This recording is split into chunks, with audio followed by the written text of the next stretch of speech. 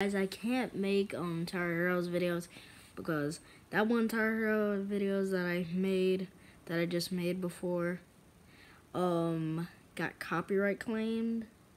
So uh, I can like draw and make stuff about Tower Heroes, but don't play it.